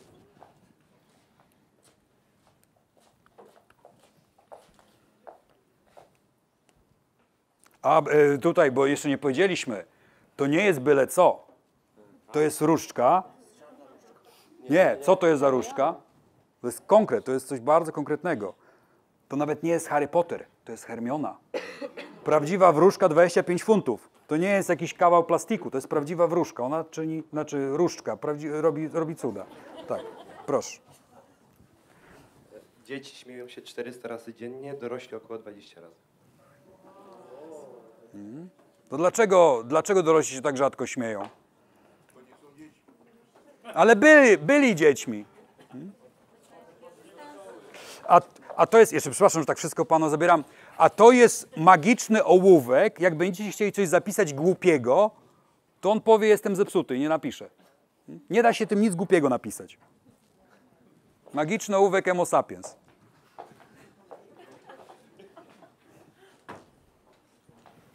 Najczęściej do wylania kawy, kiedy idziemy z kubkiem lub filiżanką, dochodzi pomiędzy siódmym a dziesiątym krokiem. Wyliczone przez matematyków. A ołówek? A jest ołówek, dobrze. Super. Neurobiologia dzięki neuroobrazowaniu odkrywa, że kiedy nasz mózg przeżywa emocje, to się rozświetla praktycznie w całości. No i tutaj ludzie zaczęli sobie e, drapać się po głowach. To przecież byli e, e, bardzo konkretni e, ludzie, to byli fizycy, to byli matematycy. Oni z emocjami to są w weekendy, a nie w godzinach pracy. I tak sobie myśleli, dlaczego, jak to jest możliwe, że aż tyle struktur w mózgu jest poświęconych emocjom? No i potem ktoś wpadł na pomysł, że skoro tak dużo jest poświęconych emocjom, to może te emocje...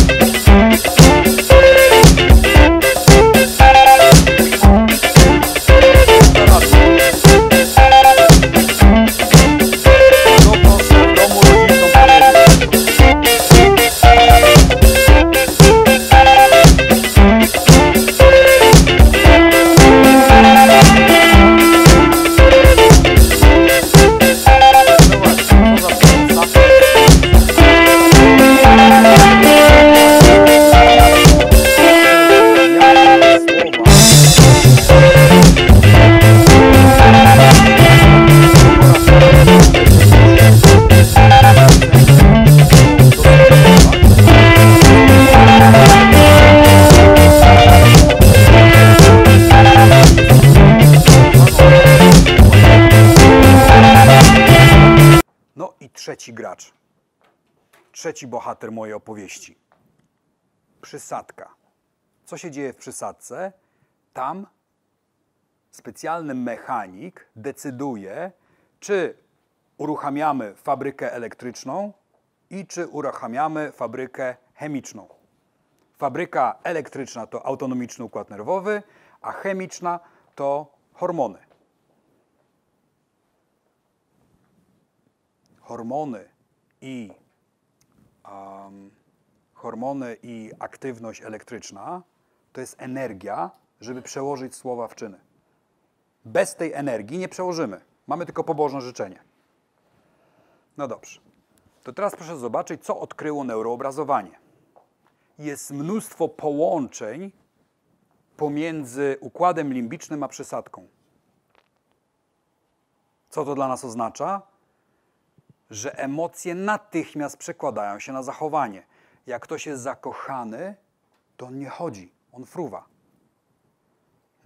Jak w sporcie dzieje się coś sensacyjnego i ludzie pytają się, jak to możliwe, że to się stało, odpowiedzią są zawsze emocje. A ile jest połączeń pomiędzy rozumem, pomiędzy korą czołową a przysadką? Proszę zobaczyć. Zero. Dlaczego? No bo już mówiłem, że to jest stosunkowo nowa akwizycja.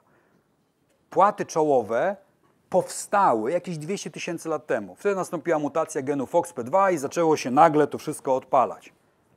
Ukształtowało się 40 tysięcy lat temu. Ale to jeszcze nie jest wystarczająco długo dla biologii, żeby te płaty czołowe zapuściły korzenie w głąb mózgu. I to zapuściły korzenie dosłownie, no bo połączenia nerwowe to są korzenie. To właśnie są te korzenie, które widzieliście, jak się engram tworzy. Czy ja chcę teraz powiedzieć, że człowiek myślący Homo sapiens nie jest w stanie zachowywać się logicznie? Jest. Pod jednym warunkiem, że weźmie kredyt za pomocą układu limbicznego. Czyli spotka się z układem limbicznym i powie: Ty, ty masz dużo tego, to weź mi trochę użycz. Jak się nazywa ta rozmowa? Zaangażowaniem, wartościami, albo w prostszym wydaniu kary i nagrody, które wzbudzają emocje. Kary i nagrody natychmiast przekładają się na zachowanie, tylko krótkoterminowo. Trzeba cały czas karać i cały czas nagradzać. Za to, kiedy ja perswaduję komuś, takiemu nastolatkowi, nie grożąc mu, że go odetnę od internetu, tylko mówiąc, dlaczego on się powinien uczyć, no to wtedy on będzie cały czas miał energię do tego. Albo inaczej, kiedy kocham swoją pracę, kiedy widzę sens w tym, co robię, moje ciało zaczyna produkować dodatkową energię. Tą energię hormonalną. Hormony to nic innego jak narkotyki. Tyle, że legalne i zdrowe. Ale substancje chemiczne, które wytwarza nasz mózg, neurotransmitery, kiedy jesteśmy zakochani, to są takie same substancje, jak wtedy, kiedy wciągniemy kokainę. No i mózg to wytwarza przez dwa lata. Przez dwa lata mamy pełno narkotyku, zwanego miłością. Potem się kończy i potem trzeba się już wspomóc kredytem na przykład, żeby się tak...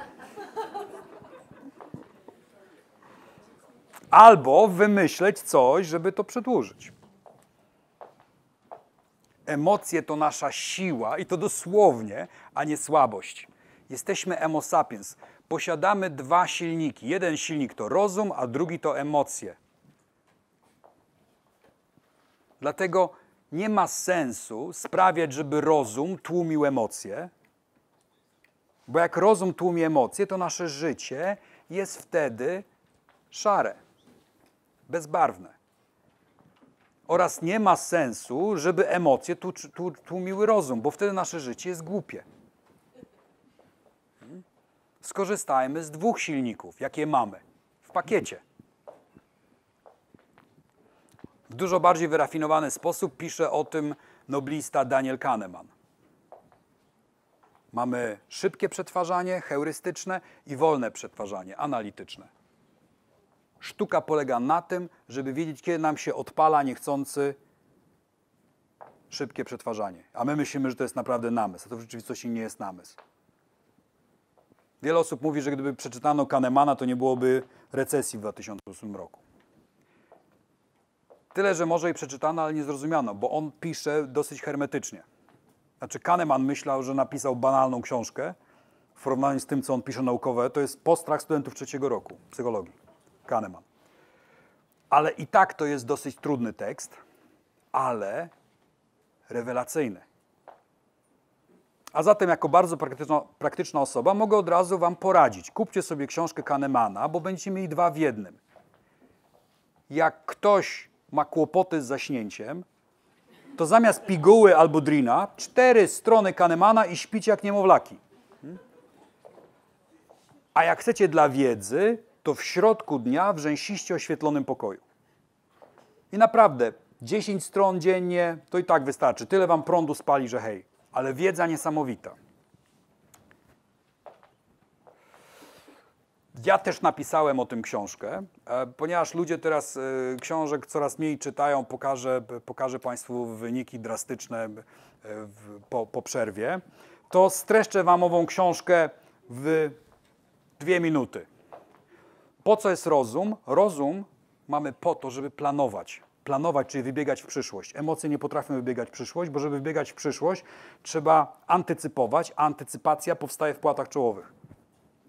To jest myślenie abstrakcyjne. No jak już potem zaplanujemy przyszłość, to używajmy rozumu, żeby nadzorować przebieg. No dobrze, a emocje są po co? No po pierwsze po to, żeby dać energię do działania. A po drugie, jaka jest najważniejsza emocja z wszystkich? Ci, którzy wiedzą, jak nie mówią. Jaka jest najważniejsza? No ci, ci, którzy byli na wykładzie rok temu. Jaka jest najważniejsza emocja?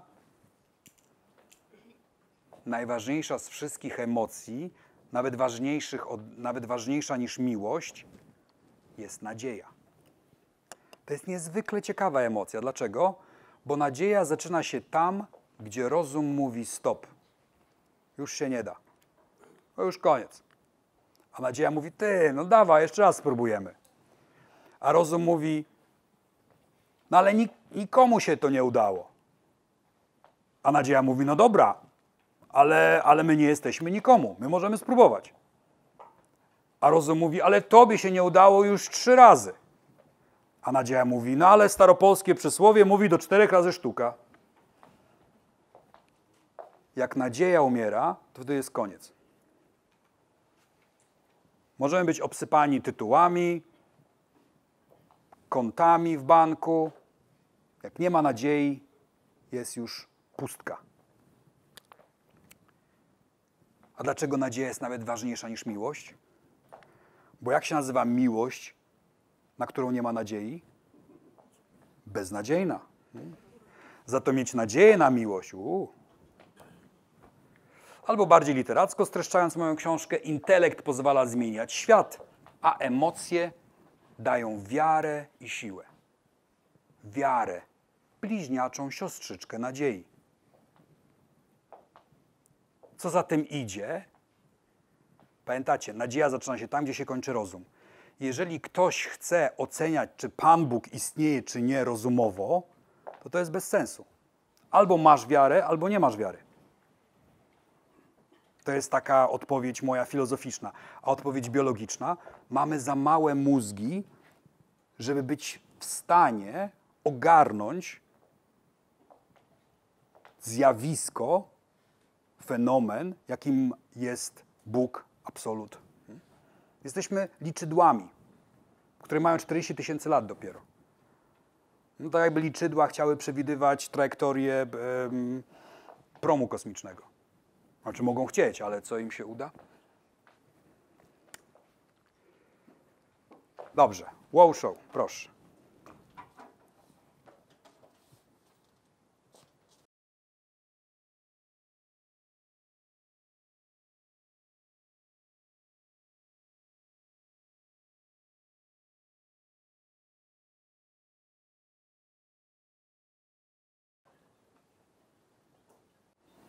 Rozlane z różnych powodów, np. smutku, szczęścia czy w wyniku krojenia cebuli, charakteryzują się odmienną strukturą.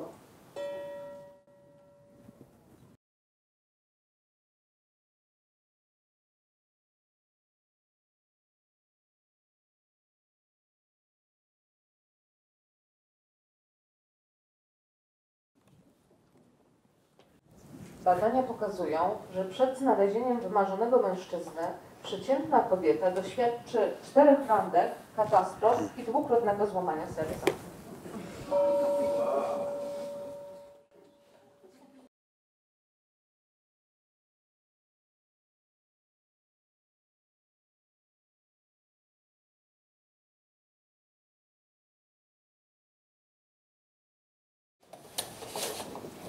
Rejestratory podatkowe że dziś we Florencji ranking najbogatszych rodzin jest dokładnie taki sam jak w roku 1427. Widzisz, tylko podszedłeś i zaczęło działać. Z tą Florencją to niesamowite. Hmm? Dobra, dziękuję bardzo. Na e, zakończenie przed przerwą. Wszystkie emocje są dobre. Nie ma dobrych i złych emocji. Znaczy są. Złymi emocjami mogą być zarówno złe emocje, jak i dobre emocje. A złe emocje mogą być dobrymi emocjami. Wszystko zależy od proporcji. Ktoś powie, no niemożliwe, ja nie wierzę, że napra naprawdę te negatywne emocje, one są nam potrzebne. Po co one są potrzebne? No po pierwsze, bo nadają życiu barw. Maszyny nie mają barw. Maszyny widzą wszystko zero-jedynkowo. Czarne, białe, czarne, białe, czarne, białe.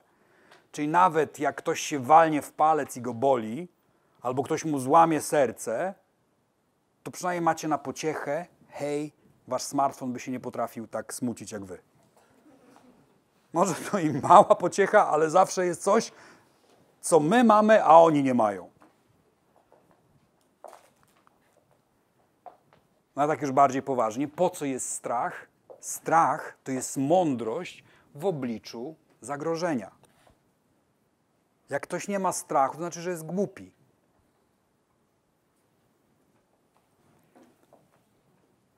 A co to jest wstręt? W dawnych czasach wstręt bronił przed zatruciem, żeby natychmiast wypluć. We współczesnych czasach, poza przeterminowanymi produktami, jest nikła szansa, żebyśmy się czymś zatruli, ale wstręt broni przed przekraczaniem granic. Jak widzimy coś okropnego, albo jak tak się zdarzy, że zrobiliśmy coś okropnego, to bardzo często mamy odruch wymiotny, który jest bardzo bliskim krewnym wstrętu. Albo wtedy, kiedy się przepracowujemy. Organizm w naturalny sposób nas ostrzega. Hej, zbliżasz się do granicy. Po to jest wstręt. Zresztą ekspresja wstrętu kiedyś służyła, człowiek się tak wykry, wykrzywia przy wstręcie. Kiedyś to było po to, żeby zmniejszyć napływ powietrza do nosa, żeby brzydko nie pachniało. Ale teraz to jest symbol pogardy. Czyli, że dezaprobuje Twoje okropne zachowanie albo czyn, który zrobiłeś. A po co jest złość? Ktoś powie, no już nie wierzę, że naprawdę złość jest do czegoś potrzebna. Przecież patrzcie, ile złość robi złych rzeczy. Złość, która jest nieproporcjonalna. Za to złość jest po to, żeby słabszy powiedział stop mocniejszemu, silniejszemu. Po to jest złość. Dzięki złości skończyło się niewolnictwo. Dzięki złości, niezależnie od tego, jaki masz kolor skóry, masz te same prawa. Dzięki złości kobiety mają tę samą pozycję społeczną, co mężczyźni. Przynajmniej w teorii. Ale to się bardzo. To, nawet jakbyśmy nie byli jeszcze w pełni usatysfakcjonowani, to zobaczcie, jak to się zmienia. W jaką dobrą stronę, jak szybko to postępuje. Ale znowu zauważcie, złość dodaje słabym odwagi, to znaczy, że złość jest czymś naturalnym, jeżeli słabszy okazuje złość silniejszemu. A jak, ale jak ojciec krzyczy na syna, to to jest nienaturalne. To ja mogę na swojego szefa nakrzyczeć. Tak, proszę bardzo, ale w drugą stronę to bez sensu. A smutek, smutek chroni nas przed nas, nami samymi. Bo smutek to jest generalna dezaktywacja organizmu. Całe nasze ciało jest oklapłe. Poczynając od ust, przechodząc przez, przez ramiona i całą sylwetkę. Totalne spuszczenie powietrza po to, żeby przestać walić głową w ścianę. Bo smutek mówi: hej, już nic się nie da. Zobaczcie, jakie to jest mądre. Jeżeli ktoś ma złamane serce i leży w domu i rozpacza, to co mówi neurobiologia? Dajcie mu rozpaczać. Nie wyciągajcie go na siłę na miasto. On musi swoje porozpaczać. Tam się musi wszystko ułożyć. Tymczasem my łamiemy tę zasadę i albo wyciągamy na miasto, co jest jeszcze mniejszym problemem, albo staramy się ten smutek ukoić za pomocą alkoholu albo innych używek, co jest już kompletnie nienaturalne. To znaczy, że jak człowiek się smuci, to trzeba go zostawić i dać mu święty spokój? Tak, zostawić, dać mu święty spokój przez jeden, dwa albo trzy dni, maksymalnie tydzień, bo tyle powinien zdrowy człowiek mieć czasu, żeby się wyregulować. Jeżeli po tym czasie on dalej siedzi i się patrzy w sufit, no to okej, okay, trzeba sięgnąć po pomoc specjalisty. Tak na marginesie, najwięcej przebojów i filmowych, i muzycznych powstało wtedy, kiedy udało się artystom połączyć smutek ze złością.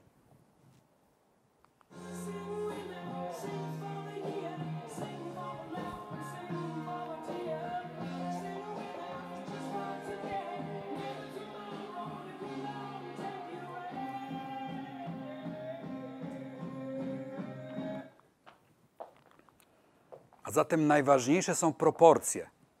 Wiedzieć, kiedy się powinno zakończyć złościć, wiedzieć, kiedy powinno się zakończyć smucić, wiedzieć, kiedy powinno się zakończyć bać.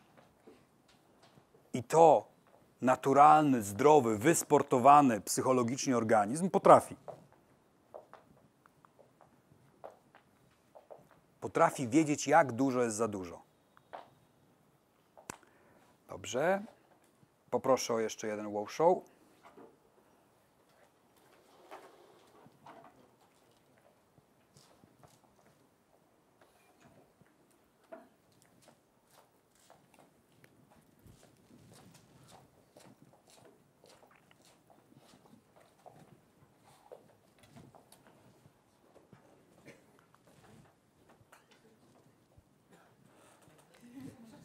Mężczyźni są sześć razy częściej rażeni piorunem niż kobiety. Potwierdza to amerykański Instytut Energetyki. No właśnie. No właśnie, dlaczego my tak te pioruny przyciągamy? Bardziej nas nosi. Tak.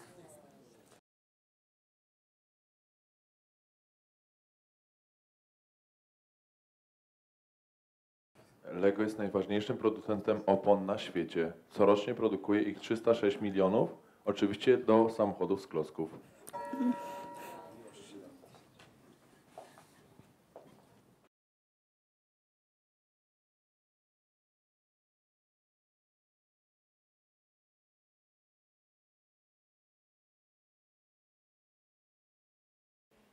Bycie nazwaną kochanie ma pozytywny wpływ na kobiecy mózg, powodując natychmiastową ulgę i redukując stres emocjonalny. No właśnie, to już wiemy, co dzisiaj będziemy mówić.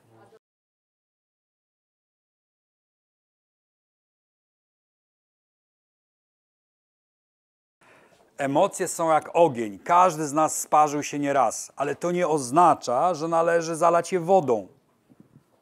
To nie oznacza, że należy się wyrzeć emocji, wyrzec emocji, tak jak kiedy przestaliśmy się bać ognia i go ujarzmiliśmy, to naprawdę dopiero wtedy nastąpiło przyspieszenie cywilizacyjne. Bo ogień po pierwsze dostarczył nam nowych technologii, bo nawet kij, który jest opalony w ogniu, jest ostrzejszy. Po drugie, technologia odganiania dzikich zwierząt za pomocą, za pomocą a, płomienia. Po trzecie, technologia ogrzewania. A po czwarte, niedoceniane, technologia grzania pokarmu. Pokarm zrobiony na ogniu jest dużo bardziej wartościowy odżywczo dla pewnego organu w naszym ciele, dla mózgu, a dokładniej dla kory. I kiedy zaczęliśmy jeść gotowane mięso, to nagle ta kora zaczęła gwałtownie się rozrastać, a u innych zwierząt nie. Szczególnie kora czołowa, która służy myśleniu abstrakcyjnemu i mówieniu. A zatem, jeżeli chcecie ze swoimi pupilami rozmawiać częściej niż raz w roku, hmm, znaczy wy z nimi rozmawiacie codziennie, ale jeżeli chcecie, żeby oni, żeby to nie był monolog, tylko dialog, to trzeba karmić gotowanym mięskiem. I w pewnym momencie zdziwicie się, co usłyszycie. I też e, wszystkich tych, którzy gustują wyłącznie w sushi, ostrzegam, za dużo sushi to też, bo jeszcze się cofną płaty czołowe i nagle człowiek zacznie mieć kłopoty z wysławianiem się. Homo sapiens boi się ognia i mówi, ty, daj spokój z tymi emocjami. Nie emocjonuj się tak. A emo sapiens korzysta z ognia, jednocześnie mając szacunek do niego jako do żywiołu. Naucz się zarządzać emocjami. O tym napisałem drugą książkę i co więcej, w tej drugiej, tej drugiej książce um, Spadla umysłu towarzyszy taki notes, który ma sprawić, że te wszystkie fajne rzeczy, które, które pojawiają się w mojej głowie, kiedy słyszę nowe rzeczy o emocjach, żeby one potem się utrwaliły w nawyk. On składa się z czterech e, sekcji. Poznaj siebie lepiej, naucz się walczyć ze stresem, naucz się dostosowywać do zmian oraz obudź towarzystwo wokół. I to czwarte jest najważniejsze. Bo to jest coś, co cię uratuje od najbardziej niebezpiecznej choroby, która pojawi się już niedługo. Ta choroba to samotność. Tylko uwaga, choroba, nie stan psychologiczny. Stan psychologiczny mamy dzisiaj. Samotność. O, jestem samotny, ale z wyboru jestem taki Chuck Norris, samotny wilk. Tymczasem ja mówię o samotności jako chorobie. Dlaczego choroba? Bo jeżeli ja nie jestem w kręgu ludzi, ale mówię fizycznie, na wyciągnięcie ręki, to moje ciało przestaje wytwarzać pewne hormony. Bo te hormony, na przykład oksytocyna, wytwarzana jest wyłącznie wtedy, kiedy ja czuję zapach drugiego człowieka, nawet podświadomie. Hmm? Kiedy ja mogę go dotknąć, kiedy ja czuję jego ciepło, ale dosłownie czuję ciepło. Wtedy mój organizm wytwarza oksytocynę oraz szereg innych hormonów. A po co są mi te hormony? No na przykład po to, żeby wzmocnić system odpornościowy. A choroby układu immunologicznego są teraz najpowszechniejszym zagrożeniem. One są wywołane przez stres, a zaraz dojdzie samotność. Jakie będą konsekwencje? Takie będą konsekwencje, że na e, głupie przeziębienie, które teraz mnie trzyma przez jeden dzień albo przez trzy dni, ja będę leżał w łóżku przez jeden tydzień albo trzy tygodnie. I będę sobie myślał, kurcze pieczone, da za dawnych czasów to było, to było tak, że ja to błyskawicznie wychorowywałem i już jestem w porządku, a teraz co się ze mną dzieje? No właśnie to się dzieje, chłopie, że wokół ciebie nie ma ludzi, przez co nie stymulują ci układu odpornościowego. A dlaczego nie będzie ludzi? No bo z ludźmi będą moje awatary się witać, a ja będę siedzieć w domu. Po co mam się ładnie ubierać, po co mam się czesać, po co w ogóle mam dbać o siebie? Ja wyślę awatara, jeszcze sobie podkręcę awatara, żeby był do Brada Pita podobny. Bo będę w tym pakiecie premium. No. Pytanie do tego, czy w takim razie posiadanie sam może zastąpić? Ale absolutnie. Znaczy najlepiej posiadać drugiego człowieka, do którego można się przytulić, ale pies spełnia biologicznie te same warunki, bo chodzi o to, żeby się przytulić, tylko, tylko to musi być, no właśnie o tym dzisiaj nie będę mówił, dlatego teraz powiem. To musi być przytulanie się naukowe, nie romantyczne. Co znaczy przytulanie naukowe? Minimum 6 sekund. Bo tyle jest potrzeba, żeby moje ciało wyczuło temperaturę drugiego ciała, żeby moje ciało wyczuło zapach i bicie serca. I to są trzy czynniki, które odpalają mi oksytocynę. Wyzwalacze. Czyli pies spełnia wszystkie te warunki. No. Jak człowiek jest postawny, a lubi jamniczki, no to wtedy dwa jamniczki musi mieć. No właśnie, dobrze. Teraz i tutaj, i tutaj, i tutaj jest szereg ćwiczeń, które potem trzeba odfajkowywać, a, odfajkowywać, e, czy je zrobiłem, czy nie zrobiłem. Tak? I to prowadzi, prowadzi człowieka przez 6 miesięcy. 6 miesięcy to jest tyle, żeby wypalić takie engramy, które się będą nazywały nawykiem. Czyli, że potem będzie wam już czegoś brakować. Chyba, że ktoś ma silną wolę, to wtedy nie musi kupować monotesu, bo już wszystko będzie tam e, w jego głowie. Dobrze, i teraz szybko przejść do zakończenia. Co ja tyle rzeczy napisałem? Dobra. A dobra, to jeszcze jedno wow mamy. Tak? Ale przez 6 sekund nieprzerwanie, to nie może być przerywane. Mm. I teraz tak na marginesie, a propos tego, jak się przytulacie do osoby, a, która nie jest waszą ślubną osobą, to nie wolno się patrzeć w oczy. Może mit, może nie, nie próbujcie. Tak? A na pewno nie dzisiaj, bo wtedy wszystko spadnie na pana profesora odpowiedzialność i na mnie. Tak? Dlatego proszę, chyba że jesteście tutaj z małżonkami, macie kwity na wszystko, wtedy możecie się patrzeć w oczy, ale i tak nie macie gdzie. Słucham. A ja mam takie pytanie, bo jeżeli by na przykład... e, Masz Gosiu. Jeżeli byśmy zrobili, e, powiedzmy sobie, dobrą wizualizację e, tego procesu, e, to ciekawe, czy to nam odpali ten stan. Ja nie mówię, że to będzie naturalne, bo to nie będzie naturalne, ale generalnie chodzi o to, czy to odpali ten stan, o którym tutaj mówimy. To jest moje pytanie. Tak jest. Podejrzewam, że tak, ale Tak jest. Wizualizacja, czyli wyobrażenie sobie, że ja przytulam, odpali ten stan pod jednym warunkiem, że ktoś jest mnichem z Shaolin. Bo on ma już tak te procesory w głowie wyćwiczone, bo on nic innego nie robi, tylko medytuje. Ja te, teraz mówię na serio. Medytacja to jest umiejętność wpływania ducha na ciało. Tymczasem my wszyscy mamy odwrotną stronę. Mamy ciało wpływa na stan psychiczny. Od czasu do czasu stan psychiczny może coś zrobić, żeby to ciało się pobudziło, ale to jest, ale to jest bardziej proporcja 80-20. A ci mnisi potrafią wow, oni potrafią serce zatrzymać. Tak? Wszystko.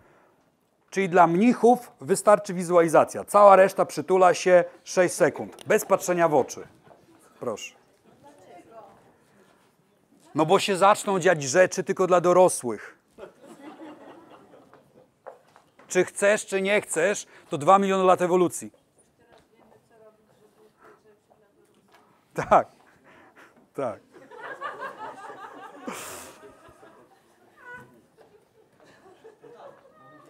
Sześć sekund to jest bardzo długo. To nie jest 1, 2, 3, 4, 5, 6. To jest 121, 122, 123, 124, 125, 126. Wow! Teraz dopiero się zaczyna proces.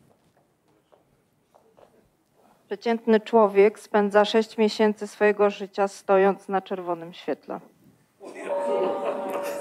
No właśnie.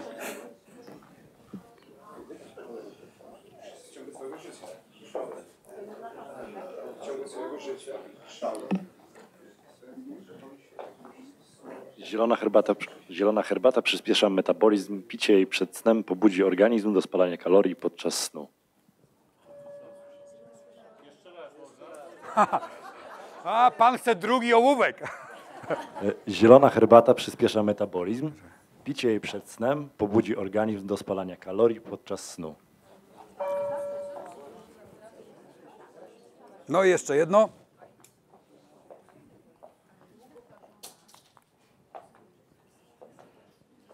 O, to jest dopiero wow.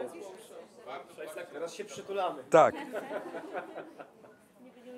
Oglądając horror możesz spalić nawet 200 kalorii, czyli tyle samo, ile straciłbyś spacerując przez 30 minut. No i pięknie. Słuchajcie, żeby, żeby było tak, żeby było e, naukowo, to był wykład, teraz będzie egzamin. egzamin z nagrodami. Nagrody to a, wspaniały kubek autorstwa Jędrka. Gdzie jest Jędrek? To jest Jędrek. To nie są jego usta, tak? ale jego koncept e, My brain is sexy. To też zostało napisane. E, Taki kubek e, dla osoby, która zna odpowiedź na pytanie. Być może są kujone na sali, czy nawet nie będę musiał czytać pytania. Nie mówią. Świetnie, 200 pani, 200 kalorii, po, ale kiedy 200 kalorii? Podczas oglądania horroru. Już wiadomo, po co są horrory, żeby nie chodzić na siłownię. Tak jest. Ile spacerują przez 30 minut? A jak się jeszcze będzie całować, 26 kilokalorii na minutę, po 30, 30 sekund, to, to już naprawdę, to już, to już y, 500 kalorii o tako się pali. A potem jednego pączka zjemy i już się wszystko wyrówna. I, zie- I zielona herbata, tak.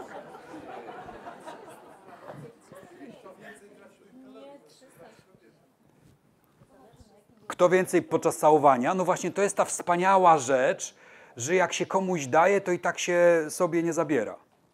Hmm? A miłość, no zobaczcie, miłość fizyczna to jest ta jedna z niewielu rzeczy, które jak dajemy, to sami nic nie tracimy. Wręcz odwrotnie, zyskujemy. No.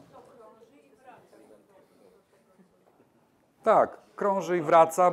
Dobrze, nie wchodźmy już w szczegóły. Oto drugie pytanie. Czy ktoś zna odpowiedź? Ale nie wiem komu. Dobrze, 270, proszę, słyszałem tutaj na pewno więcej osób, więcej. Tak. 200, aha, bo myśmy nie rozdali, bo trzeba po kubki się zgłosić tam. Po, po kubki, bo ten jest już pity, to nie, nie będę, ale tam są kubki, czyli proszę się zgłosić po kubek. Ostatnie pytanie. Może jakiś mężczyzna, bo to trochę wstyd. Hmm?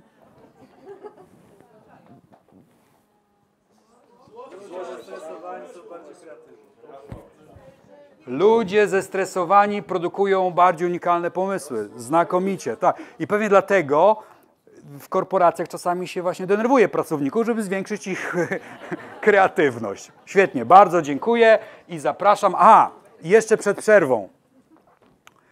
Um, w kwietniu będzie nowy Bond. Jak, jak ci, którzy byli na wcześniejszych wykładach wiedzą, my badamy bondy. E, Badanie bonda to jest e, niesamowity projekt logistyczny, bo to jest dwie go, trzy godziny, no dwie i pół godziny z czepkiem na głowie. Szukamy ludzi, którzy chcieliby wziąć w badaniu, udział w badaniu, które będzie w, w lutym albo w marcu. Uwaga, to muszą być fani Bonda. Znaczy, wam się musi podobać Bond. Bo my chcemy mieć takie dobre wyniki, a nie takie, wiecie. A po drugie, nie fan Bonda nie wytrzyma prawie trzech godzin z czepkiem na głowie. E, A, a może być fan Craiga, fan Bonda. Ktoś, kto będzie gotowy, zaprosimy go do nas do laboratorium, bo my robimy to i to samo robią Anglicy. I chcemy potem pokazać wyniki, oczywiście nie, nie z pojedynczych osób, ale uśrednione, um, tak jak te um, neuroobrazowanie z, z Craigiem. Czyli jeżeli ktoś jest gotów nam poświęcić blisko 3 godziny, my jesteśmy w samym środku miasta, my jesteśmy tuż koło Łazienek. E, To, to serdecznie zapraszamy. E, Trzeba się skontaktować z Pauliną a, i zapraszamy w ogóle do czegoś jeszcze więcej. Jeżeli podobają Wam się testy, których wyniki za chwilę zobaczycie, znaczy po przerwie, to my w ogóle chcieliśmy stworzyć taki, nazwaliśmy to panelem Emo Sapiens, um, czyli 30 osób, może 50 osób, a może więcej osób, które raz na jakiś czas, podejrzewam, że to by było, nie wiem, 4 razy w roku, a e, mailowo zaczepialibyśmy, hej, może chciałbyś e, e, wziąć udział w ankiecie, którą, jak widzieliście, trwa parę minut. I będziemy pytali o jakieś świat, y, o jakieś lifestyle'owe rzeczy. Nie będziemy pytali o, o, o rzeczy w ogóle nie, nie natomiast jeżeli ktoś by chciał, to bardzo proszę napisać na emosapiensneuron.com, a dodatkowo, żeby tak nie było, e, to dostanie jeszcze film, jak Emo Sapiens wychowuje dzieci. I to jest film, który może się przydać e, dla każdego e, człowieka, albo może być prezentem ślubnym. I to naprawdę to jest taki, no to, to nie chodzi o to, że to ja mówię, tylko tam są proste rzeczy, cztery rzeczy, które każda para młodych powinna e, zrobić. Szczególnie, że pierwsze z nich e, trzeba robić w ciągu pierwszych trzech lat życia dziecka. To jest jak powinien wychowywać. Jak powinien wychowywać. Nie badanie tego, jaki jest, tylko raczej rekomendacja. jak Tak, ja, tak, ja tutaj może tak e, niezbyt wyraźnie napisałem, jak ktoś się do nas zapisze, to dostanie taki film. O, no właśnie. No to super, no to w takim razie to było, już nie, już więcej nie mamy. Zapraszamy na przerwę.